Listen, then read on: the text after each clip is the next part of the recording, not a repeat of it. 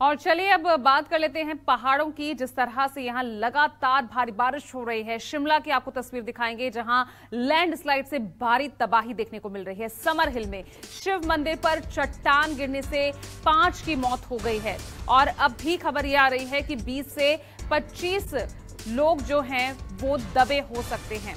Rescue operation लगातार जारी है। 20 से 25 लोग फंसे हुए हैं। मौके पर पहुंचकर सीएम और राज्यपाल ने जायजा भी लिया है। तो शिमला में भारी लैंडस्लाइड, पाँच लोगों की मौत हो गई है।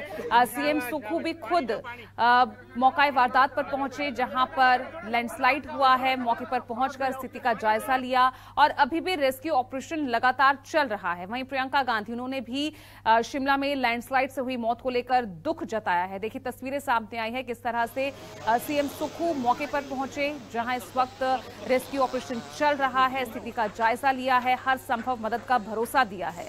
दूसरी तरफ़ लगातार जो रेस्क्यू ऑपरेशन है, वो युद्ध स्तर पर चल रहा है क्योंकि मलबा ज़्यादा होने की वजह से लोगों को निकालने में बेहद दिक्कतें आ रही हैं।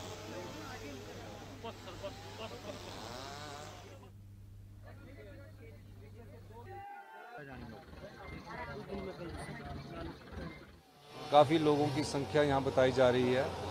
20 से 25 लोगों के दबे होने की खबर है।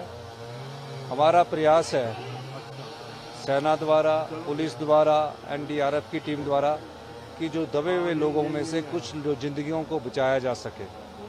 इस बार की बारिश ने पिछले 24 घंटे में ऐसा कहर बरपाया है।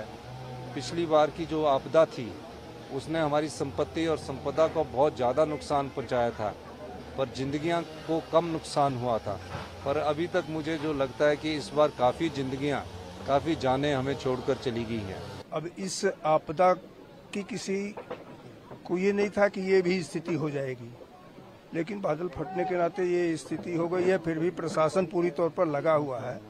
और मैं समझता हूँ कि जहाँ जहाँ भी घटनाएँ घट रही हैं, प्रशासन त्वरित गति से वो करके मार्ग भी खुलवा रहा है और आपदा पर लोगों को राहत भी देने का प्रयत्न कर रहा है। इतनी बड़ी आपदा हिमाचल ने कभी नहीं देखी होगी।